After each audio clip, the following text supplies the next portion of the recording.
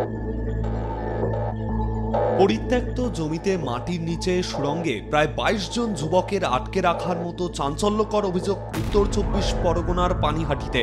পানিহাটি নরসিংহ দত্ত ঘাট রোড এলাকায় বালক ব্রহ্মচারী আশ্রমের কাছে একটি পরিত্যক্ত জমিতে আটকে ছিল কয়েকজন যুবক, আর সেই যুবকদের মধ্যে একজন ছিলেন বিহারের বাসিন্দা। সে কোনো ক্রমে সুড়ঙ্গ থেকে বেরিয়ে বিহারে গিয়ে গাগৌরি থানায় অভিযোগ জানায়।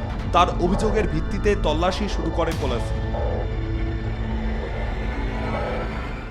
কম বয়সী ছেলেদের কুড়ি পঁচিশটা ছেলে এখানে নিচে আন্ডারগ্রাউন্ডে রয়েছে।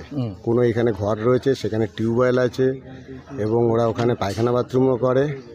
তখন আমাদের বলল আপনাদের আপনারা কতদিন আগে কিনেছেন? আমরা বলেছি ছ সাত বছর আগে কিনেছি। তারপর ওরা কিছু পিলার দেখেছে ওখানে বলছে না তাহলে এখানে। তারপর শাবল দিয়ে খুঁড়ানো হয়েছে দেখছে যে না কাদা মাটি বেরাচ্ছে। তা আমাদের বলল আপনারা এই জায়গাটা পরিষ্কার করে রাখবেন আমরা কালকে সকালবেলা আসব। সেই মতন আমরা লোক লাগিয়েছি পরিষ্কার করে। এখন তো এসছে সবে একজন এক অফিসার একজন এসছেন। তিনি দেখছেন যে পরিষ্কার বলল কতক্ষণের মধ্যে পরিষ্কার হবে? আমরা বললাম আর দু ঘণ্টা লাগবে পরিষ্কার হয়ে যাবে। সে নন বেঙ্গলি বিহারের লোক। সে সেই লোকেশনটা দেখাচ্ছে যে এখানে আমি পা মেপে দেখাচ্ছে যে এইখান থেকেই আমি সাইকেল নিয়েও ভেতরে ঢুকতাম। অভিযোগ হয়ে উঠতেই পারে সেটা প্রমাণ সাপেক্ষ। তদন্ত শুরু হয়েছে তদন্ত সমস্ত পরিষ্কার হবে। অনুমান করার কোনো জায়গা নেই।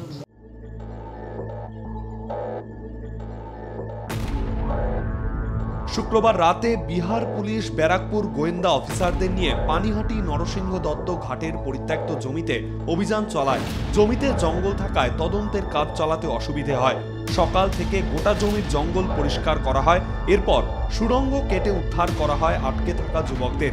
কি কারণে ওই যুবকদের কারা আটকে রেখেছিল তা তদন্ত করে দেখছে পুলিশ। রিপোর্ট, আরোহী নিউজ।